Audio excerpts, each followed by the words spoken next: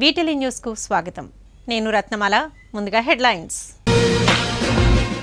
గెలిస్తే నగరాన్ని అభివృద్ధి చేస్తాం. విజేఎఫ్ మీట్ ది ప్రెస్లో విశాఖ ఎంపీ అభ్యర్థులు. వైసీపీ అందలమెక్కితే నవ్యాంధ్ర స్వర్ణాంధ్ర అవుతుంది. వైసీపీ దక్షిణ అభ్యర్థి ద్రోణంరాజు శ్రీనివాస్. అధికారంలోకి వస్తే అభివృద్ధి సంక్షేమానికి ప్రాధాన్యం. వైసీపీ పశ్చిమ అభ్యర్థి మళ్ళా. గంటాకు ఓటేస్తే మునిగినట్టే. ప్రజలకు వైసీపీ ఉత్తర అభ్యర్థి కేకే రాజు హెచ్చరిక. బాధ్యతలను సక్రమంగా నిర్వర్తిస్తా. విశాఖ అర్బన్ జిల్లా నూతన అధ్యక్షుడు రెహమాన్. ఇక వార్తల వివరాలు చూద్దాం. విశాఖ పార్లమెంట్ అసెంబ్లీ నియోజకవర్గాల నుంచి వివిధ రాజకీయ పార్టీల తరపున ఎంపీ ఎమ్మెల్యేలుగా పోటీ చేసే అభ్యర్థులతో Vizag journalist forum press club పాలకవర్గం ముఖాముఖి నిర్వహిస్తుండటం ఆనవాయితీగా వస్తోంది. ఈ పరంపరను ప్రస్తుత పాలకవర్గం కొనసాగిస్తూ ఈ ఎన్నికల్లోనూ విశాఖ పార్లమెంట్ నియోజకవర్గ పరిధిలోని ఎంపీ ఎమ్మెల్యే అభ్యర్థులతో ముఖాముఖి కార్యక్రమానికి శ్రీకారం చుట్టింది. ఈ నేపథ్యంలో తొలుత ఎంపీ అభ్యర్థులతో నగరంలోని ఓ హోటల్లో ముఖాముఖి నిర్వహించింది. ఈ సందర్భంగా ఈ స్థానం నుండి పోటీ చేస్తున్న ఆరుగురు అభ్యర్థులు తమ మనోభావాలను మీడియాతో పంచుకున్నారు.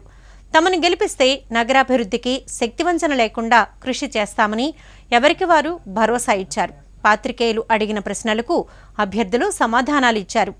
కార్యక్రమంలో ఎంపీ అభ్యర్థులు శ్రీ భరత్ ఎంవివి సత్యనారాయణ వివి లక్ష్మీనారాయణ పురంధేశ్వరి పేడాడ రమణికుమారులు పాల్గొన్నారు. ప్రెస్ క్లబ్ అధ్యక్ష కార్యదర్శులు గంట్ల శ్రీనుబాబు దుర్గారావులు అభ్యర్థులను వేదికపైకి ఆహ్వానించారు. ఈ సందర్భంగా ఎంపీ అభ్యర్థులకు బీజేఎఫ్ పాలకవర్గం జ్ఞాపికలు అందించి శుభాకాంక్షలు తెలిపింది. మన ఓటు అయినది చాలా విలువైనది. ఏ ప్రభుత్వం ఏ నాయకుడు వల్ల మన రాష్ట్రం ముందుకెళ్తుంది మన రాష్ట్ర సమస్యలు మన ప్రాంతం సమస్యలు ఎవరు అర్థం చేసుకుని ఒక సిస్టంలో ఎందుకంటే ఒక ఎమ్మెల్యే ఒంటరిగా ఏమీ చేయలేరు ఒక ఎంపీ ఒంటరిగా ఏమీ చేయలేరు ఒక రాష్ట్ర ప్రభుత్వం కేంద్ర ప్రభుత్వం సాయం లేకుండా ఎక్కువ చేయలేరు. అందరూ కలిసి ఉంటేనే మనకి బాగుంటుంది. నాకు జగన్మోహన్ రెడ్డి గారు పిలిచి విశాఖపట్నం పార్లమెంటు అభ్యర్థిగా నన్ను డిక్లేర్ చేయడం జరిగింది. ముందుగా నేను ఆయనకి ధన్యవాదాలు తెలియజేస్తున్నాను నేను విశాఖపట్నం ప్రజలందరికీ ఒకటే హామీ ఇస్తున్నాను నేను ఇక్కడ స్థిర నివాసం ఏర్పరచుకున్నాను నేను. ఏ రోజు సాధారణంగా ఫ్లైట్లో సూట్ కేసులు పట్టుకుని బీఫామ్ పట్టుకునే రాలేదు. అదేవిధంగా నెగ్గిన వెంటనే మళ్ళీ సూట్ కేసు పట్టుకుని వెళ్ళిపోయి నెలకు రెండు రోజులు మూడు రోజులు క్యాంప్ కార్యాలయాలు పెట్టుకుని ఇక్కడ ఉండలేదు ఇప్పుడు నా స్థిర నివాసం ఎక్కడ నా వ్యాపారం ఎక్కడ నాతో ఆత్మ అభి అభిమానం అనుబంధంతో నేను విశాఖపట్నంలో నేను ఉంటున్నా. నిజంగా చెప్పాలంటే ఇది ఒక మంచి సంస్కృతిగా నేను భావిస్తున్నాను. అభ్యర్థులందరూ కూడా ఒక వేదిక మీదకి వచ్చి వారు ఏ పార్టీకి ప్రాతినిధ్యం వహిస్తున్నారు ఆ పార్టీకి సంబంధించినటువంటి విధి విధానాలు సిద్ధాంతాలు. అదేవిధంగా అభ్యర్థి ఇంతకుముందు రాజకీయ ప్రస్థానంలో ఉన్నట్టయితే వారి ప్రస్థానం ఏ విధంగా ఉండది ఉన్నది? ఇక ముందు ఏ విధంగా ఉండబోతుంది అనేటువంటి అంశాలు కూలంకుషంగా చర్చించుకున్నట్లయితే ప్రజలకు కూడా మీ ద్వారా ఒక అవగాహన కలుగుతూ ఎవరికి ఓటేయాలి అనేటువంటి విషయంపై ఒక నిర్ణయానికి వచ్చేటువంటి అవకాశం ఉంటుంది.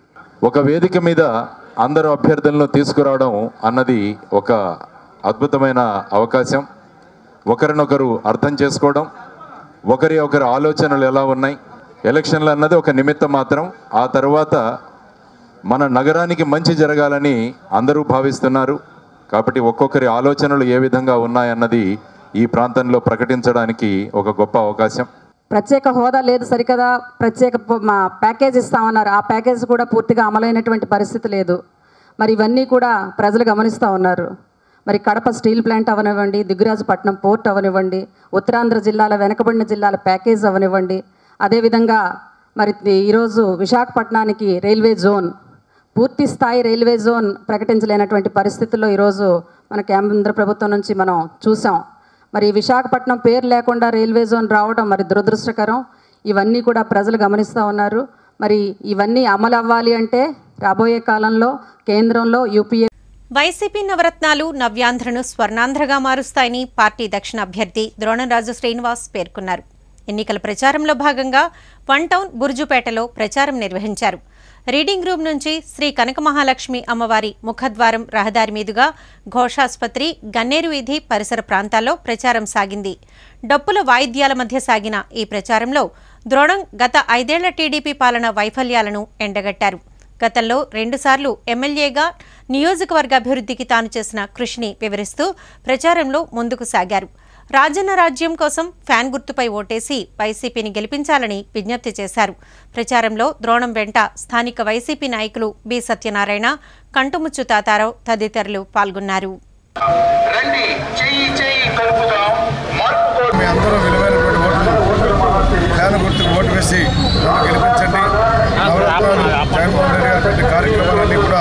ఆయన ముఖ్యమంత్రి అయిన తర్వాత అమలు చేస్తారు.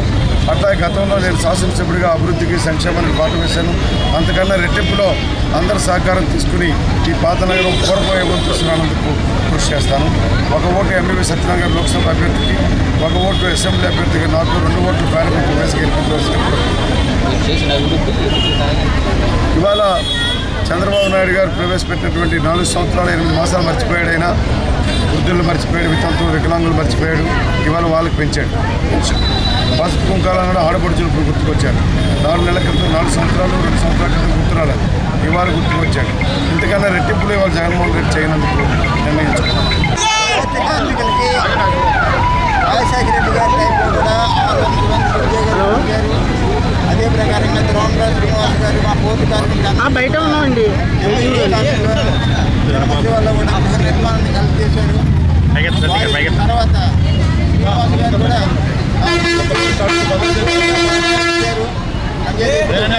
వ్యక్తిగతంగా మాకు శ్రీనివాస్ గారికి దగ్గర సంబంధం ఉంది ఈ ఎలక్షన్స్ పూర్తిగా శ్రీనివాస్ గారికి సపోర్ట్ చేస్తాను వారికి గెలిపిస్తామని చెప్పేసి పశ్చిమ నియోజకవర్గం వైసీపీ అభ్యర్థి మళ్ళ విజయప్రసాద్ ప్రచారంలో దూసుకుపోతున్నారు.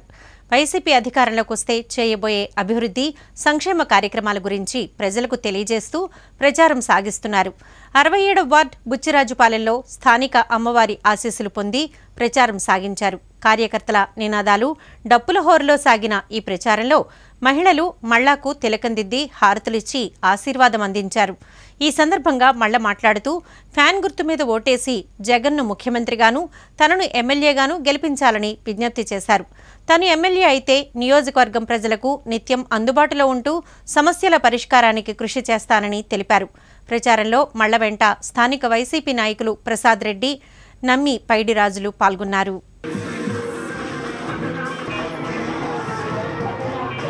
మరి ఈరోజు ప్రజలందరూ కూడా గమనిస్తూ ఉన్నారు. ఎన్నికలు. ఈ ఎన్నికల ప్రచారంలో భాగంగా ఈరోజు అరవై ఏడో వార్డులో మరి అమ్మవారి టెంపుల్ దగ్గర నుంచి ప్రారంభం చేసి ప్రియదర్శిని కాలనీ నుంచి రెడ్డి వీధి గవర్ వీధి అలాగే ఎస్సీ కాలనీ మరి అన్నీ కూడా కవర్ చేస్తూ ఈ వార్డులో ఉన్నటువంటి ప్రజల్ని వైఎస్ఆర్ కాంగ్రెస్ పార్టీకి ఒక అవకాశం కల్పించండి. ఫ్యాన్ గుర్తు కోటేయండి ఇక్కడ వైఎస్ఆర్ కాంగ్రెస్ పార్టీ అభ్యర్థిగా నన్ను నేను నిల్చుంటున్నాను. తప్పకుండా నన్ను ఆశీర్వదించండి. గతంలో మీ ఆశీర్వచనంతో శాసనసభ్యుడిని అయ్యి మరి ప్రాంతానికి ఎనలేని సేవలు అందించినటువంటి విషయం మీ అందరికీ తెలుసు. నిజాయితీగా నిబద్ధతగా ప్రజా అవసరాల కోసం ప్రజల కోసం పనిచేసినటువంటి వ్యక్తిని మరలా ఇంకో అవకాశం ఇస్తే తప్పకుండా మీలో ఒక వ్యక్తిగా మీ కుటుంబ సభ్యుడిగా పనిచేస్తానని చెప్పి ప్రతి ఒక్కరు కూడా అప్పీల్ చేసుకోవడం జరుగుతుంది. ఉత్తర నియోజకవర్గం వైఎస్ఆర్ కాంగ్రెస్ పార్టీ అసెంబ్లీ అభ్యర్థి కేకే రాజు ఈ రోజు ఎన్నికల ప్రచారంలో భాగంగా ముప్పై తొమ్మిదో ward Madhavadhara UDA colony Ambedkar colony Rajiv నగర్లో భారీ జనసమూహం మధ్య పర్యటించారు. వార్డు అధ్యక్షురాలు పప్పల సునీత వైఎస్ఆర్ కాంగ్రెస్ పార్టీ రాష్ట్ర కార్యదర్శి సనపల చంద్రమౌళి ఆధ్వర్యంలో వందలాది మంది కార్యకర్తలు అభిమానుల మధ్య ఎన్నికల ప్రచారం కొనసాగింది. దారి పొడుగునా ఉన్న దుకాణ సముదాయాల వ్యాపారులను రోడ్ల పక్కన నివసిస్తున్న బడుగు జీవులతోనూ మాట్లాడుతూ వారి కష్టసుఖాలు తెలుసుకుని త్వరలోనే మంచి రోజులు రాబోతున్నాయంటూ భరోసా కల్పించే ప్రయత్నం చేశారు. ఈ ప్రచార కార్యక్రమంలో ఉత్తర నియోజకవర్గ పరిధిలోని అన్ని వార్డు అధ్యక్షులు కార్యదర్శులు హాజరై ముమ్మరంగా ప్రచార కార్యక్రమం నిర్వహించారు. ఈ సందర్భంగా కేకే రాజు మాట్లాడుతూ నియోజకవర్గ హద్దులు కూడా తెలియని గంటా శ్రీనివాస్కు ఓటేస్తే నిండా మునిగినట్లేనని నిత్యం ప్రజల మధ్య ఉంటూ కష్టసుఖాల్లో పాలు పంచుకుంటున్న తనకు ఓటేసి తన ద్వారా జగన్మోహన్ రెడ్డి సీఎం చేసే అవకాశం కల్పించాలని ఈ సందర్భంగా ప్రజలను కోరారు. ఈరోజు ఈ ప్రసార సమయంలో ప్రజల దగ్గర నుంచి విశేషమైన స్పందన లభిస్తుంది. ఎవరిని పలకరించినా తప్పకుండా ఈసారి జగన్మోహన్ రెడ్డి గారికి ఓటేస్తాం. వైఎస్ఆర్ కాంగ్రెస్ పార్టీని గెలిపించి జగన్మోహన్ రెడ్డి గారిని ముఖ్యమంత్రి చేయడమే మా లక్ష్యం అని చెప్పడం జరుగుతుంది. తప్పకుండా జగన్మోహన్ రెడ్డి గారు ఏదైతే నవరత్నాలు ప్రకటించారో ఖచ్చితంగా ఆ నవరత్నాలన్నీ కూడా బడుగు బలహీన వర్గాల వారికి ఆ నవరత్నాల ద్వారా లబ్ధి చేకూరి ఆ రోజు రాజశేఖర రెడ్డి గారి పరిపాలనలో ఏదైతే మన సువర్ణ అధ్యాయాన్ని చూసామో అలాంటి రోజులు జగన్మోహన్ రెడ్డి గారి సారథ్యంలో ప్రభుత్వం ఏర్పాటైన తర్వాత మనం చూడబోతున్నాం. కాబట్టి ప్రజలందరినీ ఒకటే విజ్ఞప్తి చేస్తున్నాం.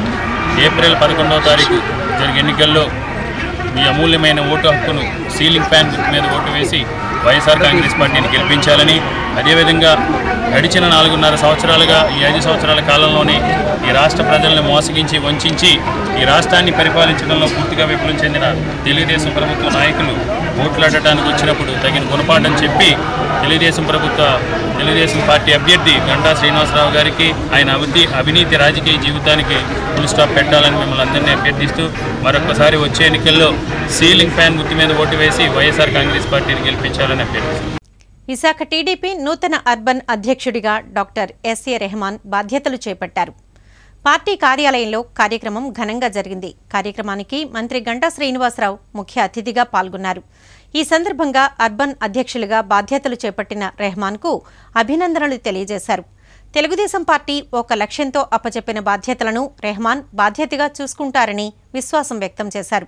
టీడీపీ కుటుంబంలో ఎన్ని విభేదాలున్నా శత్రువు మన మీదకు వచ్చినప్పుడు సమన్వయంతో ఎదుర్కోవాలని మంత్రి గంటా పేర్కొన్నారు. ఎన్నో కేసుల్లో జైలుకెళ్ళిన వ్యక్తి ప్రపంచం గర్వించదగ్గ వ్యక్తి చంద్రబాబు నాయుడుతో పోటీ పడుతున్నారని అటువంటి వారికి ప్రజలు ఎన్నికల్లో ఓడించి బుద్ధి చెప్పాలని పిలుపునిచ్చారు. తెలుగుదేశం పార్టీ మేనిఫెస్టోను పవిత్ర గ్రంథంతో చూసుకుంటుందని గుర్తు చేశారు. కార్యక్రమంలో పార్టీ నాయకులు కార్యకర్తలు పెద్ద ఎత్తున పాల్గొన్నారు. అర్బన్ అధ్యక్షుడిగా బాధ్యతలు చేపట్టిన డాక్టర్ ఎస్ఏ రెహమాన్కు అభినందనలు తెలియజేశారు. మనకి అవకాశం ఇవ్వటం అనేది నా అదృష్టంగా భావిస్తూ అవకాశంలో నేను మనసులో ఏది ఉంచుకోలేనండి. ఈ అవకాశంలో ముఖ్యమైన పాత్ర పోషించిన మన మంత్రివర్యులు నా సోదర సమానులు గంటా శ్రీనివాసరావు గారికి నేను కృతజ్ఞతలు తెలుపుకోకుండా ఉండలేను. సీనియర్ కార్యకర్తలు పదవులు అడగరు. అనుభవించారు. కష్టపడ్డారు. పార్టీ కోసం పోరాడ పోరాటాలు చేశారు. జైళ్ళకి వెళ్ళారు తలలు పగలగొట్టారు. అత్తిలప్పారావు తల పగలగొట్టారు ఎంపీ కాలనీలో. ఇటువంటి యోధులున్న ఈ పార్టీలో వాళ్ళందరికీ కావాల్సింది గౌరవం. అది మాత్రం తూచా తప్పకుండా రెండు వందల శాతం వాళ్ళందరికీ తగిన గౌరవం. పార్టీలో వచ్చేటట్టు చేసే బాధ్యత గంటా శ్రీనివాసరావు గారి నాయకత్వంలో మా పట్టాభి నాయకత్వంలో నేను తప్పకుండా తీసుకుంటాను. దేవుడి మీద ప్రమాణం చేసి చెప్తా ఉన్నాను. ఎస్ఏ రెహమాన్ గారు ఇప్పుడే విశాఖపట్నం నగర పార్టీ అధ్యక్షులుగా బాధ్యతలు స్వీకరించడం అన్ని కాన్స్టిట్యున్సీ నుంచి కూడా నాయకులు పెద్ద ఎత్తున తరలి రావటం మీ అందరినీ కలుసుకోవటం చాలా సంతోషం అని చెప్పి తెలియజేసుకుంటూ ఈ హాల్లోకి అడుగుపెట్టిన వెంటనే ఒక మార్పు నాకు కనిపించింది ఈరోజు. అది ఏంటంటే పార్టీ ఆవిర్భావం నుంచి పార్టీలో అనేక రకాల కీలకమైన బాధ్యతలు నిర్వర్తించి ఎంతో సీనియారిటీ ఉన్న చాలామంది నాయకులు మళ్ళీ ఈ కార్యాలయంలో చూడటం నాకు చాలా ఆనందం వేసింది. కొత్త తరంతో పాటు మళ్ళీ పాత తరాన్ని కూడా ఇక్కడికి ఆహ్వానించి మరి పాత కొత్త కలయికలతోటి ఈ పార్టీని మరింత బలోపేతం చేసే విధంగా ముందుకు నడిపించాల్సిందిగా సోదరులు రెహమాన్ గారిని కోరుకుంటూ రెహమాన్ గారు ఈరోజు బాధ్యతలు స్వీకరించిన సమయం చాలా కీలకమైన సమయం. ప్రస్తుత ఎన్నికల్లో మోసకారి టీడీపీకి ప్రజలు గట్టి బుద్ధి చెప్పాలని జనసేన వామపక్ష బీఎస్పీ పార్టీల పశ్చిమ నియోజకవర్గం ఉమ్మడి అభ్యర్థి జేవి సత్యనారాయణమూర్తి పిలుపునిచ్చారు. ఎన్ఏడి కూడలి సమీపంలోని సిపిఐ పార్టీ కార్యాలయంలో మాజీ ఎమ్మెల్యే మానం ఆంజనేయులతో కలిసి ఆయన మీడియా సమావేశంలో మాట్లాడారు. ప్రజలకు మంచి చేస్తుందని భావించి బీజేపీకి గతంలో మద్దతిస్తే మోడీ సర్కార్ పెద్ద నోట్ల రద్దు జీఎస్టీ అమలు వంటి పలు దుర్మార్గపు నిర్ణయాలు తీసుకుందని దుయ్యబట్టారు. ప్రత్యేక హోదా విభజన హామీలు సాధిస్తానని గొప్పలు చెప్పిన చంద్రబాబు మోడీ సర్కారుతో నాలుగేళ్ళ పాటు అంటకాగి చివరికి సాధించింది శూన్యమని ధ్వజమెత్తారు. ఇక రాష్ట్రం విషయానికి వస్తే అసెంబ్లీ సమావేశాలకు దూరంగా ఉండి అధికార పార్టీ వైఫల్యాలను ఎండగట్టడంలో వైసీపీ కూడా ఘోరంగా విఫలమైందని మండిపడ్డారు. అందువల్ల తమ పార్టీ సిద్ధాంతాలతో భావ సారూప్యం కలిగిన జనసేనతో కలిసి ఈ ఎన్నికల్లో పోటీ చేస్తున్నట్లు తెలిపారు. మంచి పాలన కోసం పశ్చిమ నియోజకవర్గం ప్రజలు తమకు ఓ అవకాశం ఇవ్వాలని విజ్ఞప్తి చేశారు. చంద్రబాబు నాయుడు గారు కానివ్వండి అటు వైఎస్ జగన్ గారు కానివ్వండి ఇద్దరూ కూడా కుటుంబ పాలనని ఈ రాష్ట్రంలో ఆ రెండు పార్టీలు వ్యవస్థీకృతం చేయడానికి ప్రయత్నం చేస్తాం. ఇది పూర్తిగా ప్రజాస్వామ్య సూత్రాలకు భిన్నమైంది. ప్రజాస్వామ్యం మరింతగా విస్తరించాలంటే ఓ రాజకీయ పార్టీలు రావాలి ప్రజల యొక్క మనోభావాలని చట్టసభలో ప్రతిబింబించేటటువంటి పద్ధతిలో చట్టసభలో పనిచేయాలి అంతేగాని ఏకపక్షంగా ఏకపక్షంగా ఆయన ప్రశ్నిస్తే చాలు సహించలేనటువంటి స్థితిలో ఉండేటటువంటి పద్ధతిలో అటు చంద్రబాబు నాయుడు గారు ఇటు జగన్ ఇద్దరు కూడా ఉన్నటువంటి నేపథ్యంలోనే కూటమి ఏర్పడడం జనసేన సిపిఐ సిపిఎం డిఎస్పి ఈ నాలుగు పార్టీల్లో కూటమి ఏర్పడడం ప్రత్యామ్నాయ రాజకీయాలు తీసుకొని రావడం ద్వారా రాజకీయాల్లో పెను మార్పుని తీసుకొని రావడం ద్వారా ప్రజాస్వామ్యాన్ని తిరిగి రాష్ట్రంలో పునఃప్రతిష్ఠించాలి దాన్ని బతికించాలనేటువంటి ఉద్దేశంతోనే ఎన్నికల్లో ప్రజల ముందుకు వస్తా ఉన్నాం అవినీతి రహిత సమాజం కోసం ప్రజలు గాజు గ్లాస్కి ఓటు వేసి పవన్ కళ్యాణ్ని సీఎం చేయాలని జనసేన విశాఖ పార్లమెంట్ అభ్యర్థి వివి లక్ష్మీనారాయణ విజ్ఞప్తి చేశారు. గాజువాక నియోజకవర్గం వంద అడుగుల రోడ్డు వద్ద ఏర్పాటు చేసిన జనసేన పార్టీ కార్యాలయం ప్రారంభోత్సవ కార్యక్రమంలో ఆయన పాల్గొని ప్రసంగించారు. రాష్ట్రంలో రౌడీ రాక్షస పాలన నుండి బయటపడాలంటే ప్రజలు ఓటుతో సమాధానం చెప్పాలన్నారు. కార్యక్రమంలో జనసేన పార్టీ స్క్రీనింగ్ కమిటీ సభ్యులు టి శివశంకర్ తోట నగేష్ తిప్పల రమణారెడ్డి గడసాల అప్పారావు ఇతర ముఖ్య నాయకులు కార్యకర్తలు పాల్గొన్నారు. మొత్తం రాష్ట్రం దృష్టి మన గాజువాక అసెంబ్లీ నియోజకవర్గం వైపు.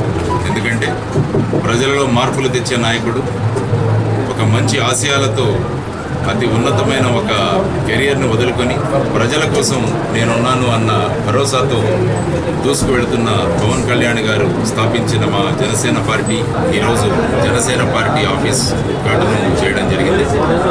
ఈ గాజువాక అసెంబ్లీ నియోజకవర్గంలో జనసేనాని శ్రీ పవన్ కళ్యాణ్ గారు ఇక్కడ నుంచి అసెంబ్లీ ఎమ్మెల్యే అభ్యర్థిగా ఆయన నామినేషన్ వేశారు. ఇక్కడ నుంచి ఆయన కంటెస్ట్ చేస్తున్నారు. ఇదందరికీ జన సైనికులకి సర్వసామాన్య ప్రజలకి మార్పు కోరుకుంటున్న వారికి కూడా ఇది శుభ పరిణామం. ఎందుకంటే ఈ ప్రాంతాల్లో ఉన్న సమస్యలు ఏవైతే ఉన్నాయో ఈ ప్రాంతాల్లో ఉన్న రౌడీయిజం ఏదైతే ఉందో ఈ ప్రాంతంలో ఉన్న డంపింగ్ సమస్యలు ఏ విధంగా ఉన్నాయో గంగవరం పోర్టు నిర్వాసితుల సమస్యలు ఏ విధంగా ఉన్నాయో వీటినన్నింటినీ పరిష్కరించాలంటే ఒక బలమైన వ్యక్తి ఇక్కడ నుంచి ఎమ్మెల్యేగా ఉండడం. స్టీల్ ప్లాంట్ ఇక్కడ ఉంది. స్టీల్ ప్లాంట్ అన్నది పెద్ద స్టీల్ ప్లాంట్. స్టీల్ ప్లాంట్ ముఖ్య సమస్య ఏంటంటే స్టీల్ ప్లాంట్కి వాళ్ళ ఓన్ క్యాప్టివ్ మైన్స్ లేవు టీడీపీ పశ్చిమ నియోజకవర్గం అభ్యర్థి గణబాబు విజయాన్ని కాంక్షిస్తూ పారిశ్రామిక ప్రాంతం నలభై ఏడవ వార్డు టీడీపీ నాయకులు పూడి విజయభాస్కర్ శ్రీహరిపురం సంపత్ వినాయక ఆలయం నుండి సింహాచలం వరకు పాదయాత్ర నిర్వహించారు. స్థానిక టీడీపీ నాయకులు కార్యకర్తలు పాల్గొన్న ఈ కార్యక్రమాన్ని ఉద్దేశించి విజయభాస్కర్ మాట్లాడారు. రాబోయేది చంద్రన్న రాజ్యమేనని జోస్యం చెప్పారు.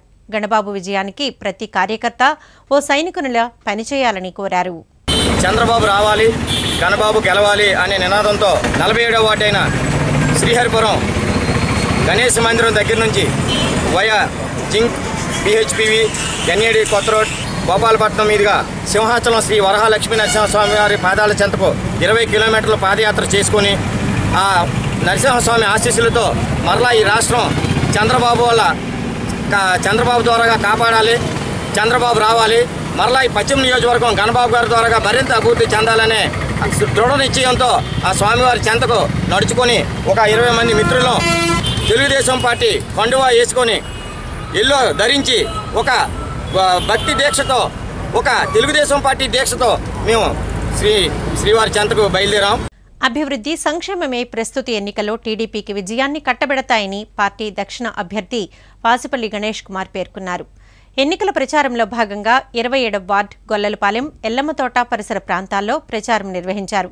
కార్యకర్తల నృత్యాలు డప్పుల వాయిద్యాల మధ్య సందడిగా ప్రచారం సాగింది. గత ఐదేళ్ళ టీడీపీ పాలనలో దక్షిణ నియోజకవర్గ అభివృద్ధి సంక్షేమ కార్యక్రమాల గురించి వివరిస్తూ ప్రచారంలో ముందుకు సాగారు. ప్రచారంలో వాసుపల్లి వెంట స్థానిక టీడీపీ నాయకులు బాపు ఆనంద్ రామానంద తదితరులు పాల్గొన్నారు. ఈ ఎలక్షన్స్ ప్రచారంలో భాగంగా ఇరవై ఏడవ వార్డు స్టార్ట్ చేస్తాం. ఎల్లమ్మ తోట ఆ ఎల్లమ్మ తల్లి ఆశీర్వాదం తీసుకొని రెండు వేల పద్నాలుగు కూడా ఇదే ప్రాంతంలో ప్రారంభం చేసి విజయాన్ని ఏమో మళ్ళీ అదే మాదిరిగా విజయాన్ని ఇవ్వమని చెప్పేసి అమ్మవారిని కోరుకోవడం జరిగింది. మా ఇలవేలుపు మీకు వచ్చే దైవం కూడా ఎల్లమ్మ.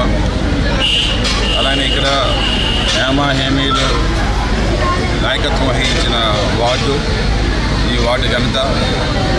ఇరవై ఏడవ వార్డు అనగానే అంత పోస్ ఏరియాస్ డాబా గార్డెన్స్ అలానే మిగతా ఈ బిజినెస్ ప్రాంతం బాగాను కమర్షియల్గా బాగా డెవలప్ ఏరియా గాజువాక టీడీపీ నాయకుడు దొడ్డి రమణ ఆ పార్టీకి రాజీనామా చేశారు. ఈ సందర్భంగా గాజువాక బీసీ రోడ్ ఎన్టీఆర్ విగ్రహం వద్ద సిట్టింగ్ ఎమ్మెల్యే పల్లా శ్రీనివాసరావుకు వ్యతిరేకంగా నిరసన తెలిపారు.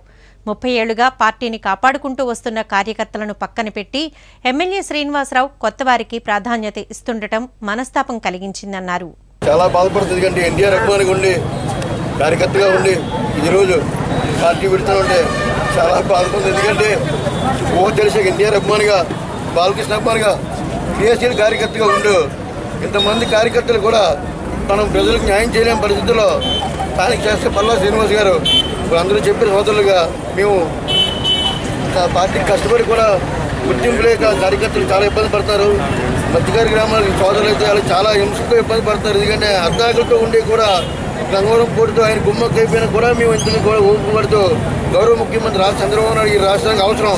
కాబట్టి చాలా ఇబ్బందిలో ఉన్న పరిస్థితి కూడా ఆయన గట్టెక్కించారని చెప్పి ప్రతి కార్యకర్తను అడుగుపించి రాష్ట్రంలో అందరూ చంద్రబాబు నాయుడు గెలాలి సీఎం అవ్వాలని కోరుకున్న సందర్భంలో ఇక్కడ మన శాసనసభ బల్లా శ్రీనివాస్ గారు చేస్తున్న నిరాకరణ దగ్గర అందరూ కలిపి తెలుగుదేశం పార్టీకి రిజైన్ చేయాలని చర్చ చేసుకున్నారు. ఈ కార్యకర్తల మనోభావాలు అర్థం చేసుకుని కార్యకర్తలు ఎటువంటి మేము నాయకులు అటు ఉన్నారు కాబట్టి కార్యకర్తలు ఆలోచనతో నడుచుకుంటూ కార్యకర్తల మీద ఈరోజు రోజు కార్యకర్తల అందరూ కూడా రిజైన్ చేయాలని చెప్పి తీర్మానం చేస్తారు. వారితో పాటు తెలుగుదేశం పార్టీకి ఈరోజు నుంచి రాజీనామా చేస్తూ చాలా బాధపడుతుంది పరిపాలనా దక్షత ఉన్న చంద్రబాబు కావాలో కేసుల ఊబిలో ఉన్న జగన్ కావాలో ఓటర్లంతా నిర్ణయించి తమ తీర్పును ఎన్నికల్లో తెలపాలని ఉత్తర నియోజకవర్గ తెలుగుదేశం పార్టీ ఎమ్మెల్యే అభ్యర్థి గంటా శ్రీనివాసరావు అన్నారు. నియోజకవర్గ పరిధిలోని పదమూడవ వార్డులో ఆయన ఎంపీ అభ్యర్థి శ్రీభరత్తో కలిసి ఎన్నికల ప్రచారం నిర్వహించారు. ఎన్ని అవాంతరాలు ఎదురైనా సంక్షేమ అభివృద్ధి కార్యక్రమాలకు చంద్రబాబు లోటు చేయలేదని ఉత్తర నియోజకవర్గ టీడీపీ అభ్యర్థి గంటా శ్రీనివాసరావు అన్నారు. ఎన్నికల ప్రచార కార్యక్రమంలో భాగంగా ఆయన పదమూడవ వార్డులో ఏర్పాటు చేసిన సభలో మాట్లాడారు. నియోజకవర్గ పరిధి చిన్నదే అయినా సమస్యలు ఎక్కువగా ఉన్నాయని అన్నారు.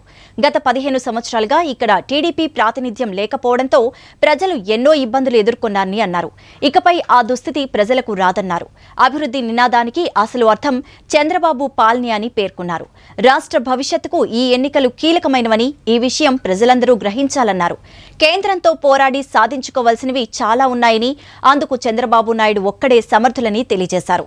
తెలుగు ప్రజల భవిష్యత్తు కోసం ప్రజలంతా తెలుగుదేశం పార్టీని రానున్న ఎన్నికల్లో గెలిపించాలంటూ కోరారు.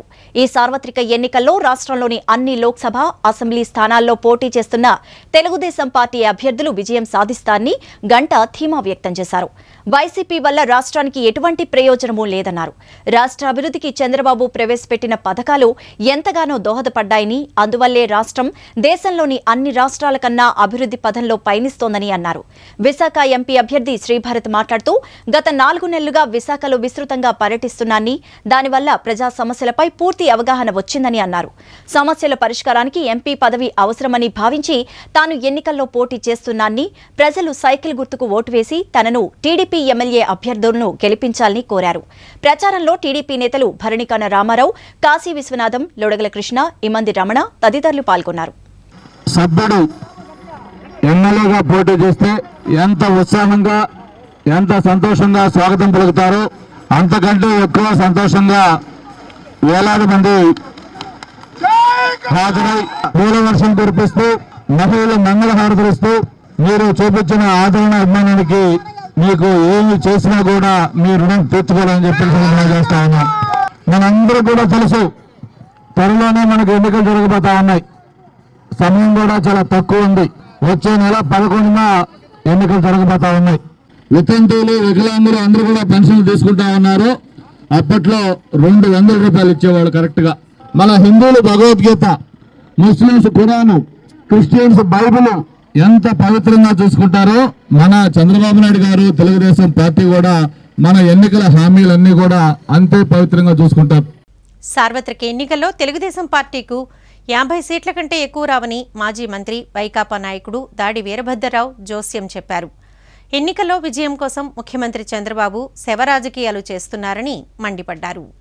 చంద్రబాబు నాయుడు ఒక మహానటుడు అని అది ఎంతలా అంటే హరికృష్ణ మృతిని కూడా పక్కన పెట్టి స్వయంగా కేటీఆర్తో కలిసి పనిచేద్దామని శవరాజకీయాలు చేయడం దురదృష్టకరమని మాజీ మంత్రివర్యులు దాడి వీరభద్రరావు అన్నారు. విశాఖలోని వైకాపా పార్టీ కార్యాలయంలో ఏర్పాటు చేసిన విలేకరుల సమావేశంలో ఆయన మాట్లాడారు. కాపురం ఒకరితో చేస్తూ మరొకరితో సహజీవనం చేసినట్లుగా రాష్ట్ర ముఖ్యమంత్రి చంద్రబాబు నాయుడు ఉన్నారని ఆందోళన వ్యక్తం చేశారు. చంద్రబాబు నాయుడు నిరాశతో బాధపడుతున్నారని జాతీయ పత్రికలు రాబోయే ముఖ్యమంత్రి జగన్మోహన్ రెడ్డి అని చెబుతుంటే ఇంకా అధికార దాహం తీర్చుకోవడానికి అన్ని కుటిల ప్రయత్నాలు చేస్తున్నారని ఇందులో భాగంగా అవాకులు చెవాకులు మాట్లాడడం సిగ్గుచేటని ఆందోళన వ్యక్తం చేశారు. ఒక సీనియర్ రాజకీయ నాయకుల్లా ముఖ్యమంత్రి చంద్రబాబు నాయుడు మాట్లాడకుండా డిప్రెషన్కు లోనై గాలి కబుర్లు మాట్లాడుతున్నారని ఆవేదన వ్యక్తం చేశారు. చంద్రబాబు నాయుడు గారు నిరాశ నిస్పృహ అసహనం మానసిక ఆందోళనతో ఉన్నారు. ఆయన ఏం మాట్లాడుతున్నారో ఏమి చెప్తున్నారో మనకేం అర్థం కానిటువంటి పరిస్థితి. జగన్మోహన్ రెడ్డి గారి ఎన్నికల సభల్లో స్వచ్ఛందంగా పాల్గొంటున్నటువంటి వేలాది మంది ప్రజలను చూసి కంగారు పడుతున్నారు. నేషనల్ ఛానల్స్ అన్నీ కూడా దఫదఫాలుగా ఇచ్చినటువంటి ఏది ఏమైనా రాష్ట్ర వాతావరణాన్ని చూస్తే చంద్రబాబు గారి పాలనకి పదహారు రోజుల్లో ప్రజలు ముగింపు చెప్పనున్నారు. పద్నాలుగు సంవత్సరాలు ముఖ్యమంత్రిగా పనిచేసినటువంటి చంద్రబాబు నాయుడు గారు ఇంకా అధికార దాహం ఎక్కువ చేసుకొని ఈ సింహాసనాన్ని ప్రజలు లాక్కొని జగన్మోహన్ రెడ్డికి ఇచ్చేస్తారన్నటువంటి బాధతో ఆతురతతో ఆయన ఆశలు ఆవిరైపోతున్నాయి అన్నటువంటి దుగ్ధతో ఆయన ఏవేవో స్థాయి మర్చిపోయి తాను ప్రజెంట్గా ముఖ్యమంత్రి ముఖ్యమంత్రి స్థాయి మర్చిపోయి ఒక పార్టీ అధినేత అన్నటువంటి స్థాయిని మర్చిపోయి మాట్లాడడం అనేటువంటి చూస్తే బాధ కలుగుతుంది ఏ విధంగా చూసినప్పటికీ ఆయన ఎన్ని మాటలు అన్నప్పటికీ ఈ ఎన్నికల్లో తెలుగుదేశం పార్టీకి యాభై సీట్ల కంటే ఎచ్చొచ్చేటువంటి ప్రసక్తే లేదు. కేవీ మెమోరియల్ ఆర్ట్స్ అసోసియేషన్ ఆధ్వర్యాన ద్వారకానగర్ పౌర గ్రంథాలయంలో ప్రపంచ రంగస్థల దినోత్సవ వేడుకలు జరిగాయి. వేడుకల్లో భాగంగా నాటక రంగానికి విశేష సేవలందించిన ఏలూరు కాకినాడ విశాఖకు చెందిన కొల్లి మోహనరావు చట్రా ఉమామహేశ్వరరావు కొత్తపల్లి బంగారాజులను సత్కరించారు. ఉత్సవాలలో భాగంగా ఏర్పాటు చేసిన సాంస్కృతిక ప్రదర్శనలు ఆకట్టుకున్నాయి. నటీమణులు కె. విజయలక్ష్మి సంధ్య ప్రియదర్శనులు సత్యహరిశ్చంద్ర కాటిసీన్లో సత్యహరిశ్చంద్ర చంద్రమతి పాత్రల్లో ప్రేక్షకులను అలరించారు. ప్రపంచ రంగస్థల దినోత్సవ వేడుకల వివరాలను కేవీ మెమోరియల్ ఆర్ట్స్ అసోసియేషన్ నిర్వాహక కార్యదర్శి వర్రే నాంచారయ్య వివరించారు. ప్రపంచ రంగస్థల దినోత్సవం మరియు డిసిహెచ్ తిరుపతిరాజు స్మారక దినం సందర్భంగా ఈరోజు పౌర గ్రంథాలయంలో కార్యక్రమం ఏర్పాటు చేశాం. దీనిలో నాటక రంగంలో విశేష కృషి చేసినటువంటి ముగ్గురు వ్యక్తులకి ఒక ఆయన కాకినాడ నుంచి వచ్చారు ఒక ఆయన ఏలూరు నుంచి వచ్చారు ఒక ఆయన విశాఖపట్నం వీళ్ళ ముగ్గురు వ్యక్తులకి సన్మానం చేశాం.